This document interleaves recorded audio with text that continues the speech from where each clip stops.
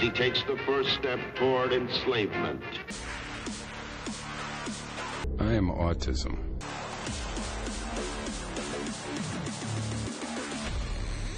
This is crack. Philip and Tracy. That's fine. That's absolutely fine. Your own choice. Don't let drugs ruin your future. Now, Scott, I understand you just bought 15 of our surfing monkey bangs. Is that true? This kid died from using illegal drugs. I will make it virtually impossible for your family to easily attend a temple, birthday party, a public park, without a struggle, without embarrassment, without pain.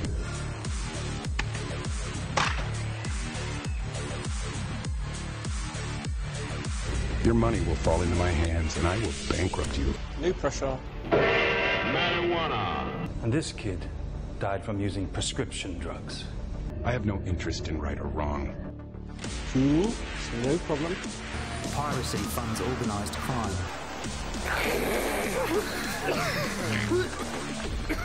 Chill, man. I'm on to you. Your choice. The burning weed with its roots in hell. And it can kill you. Which one's more dead?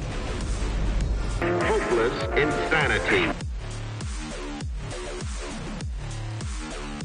I will plot to rob you of your children and your dreams. I will make sure that every day you wake up, you will cry. Those of you who aren't, uh, Everybody wants to be cool. But doing it with crack isn't just wrong. It could be dead wrong. I work faster than pediatric AIDS, cancer, and diabetes combined. You don't have to join in. Just ignore it. No pressure. Piracy funds terrorism. talk to your kids about prescription drug abuse. I will make sure that your marriage fails. I'm visible in your children, but if I can help it, I am invisible to you until it's too late. So, what are you thinking of doing for 1010 yourself? What, are you kidding me? I, I thought that by doing this voiceover, that was my contribution. Right. No, absolutely. No pressure.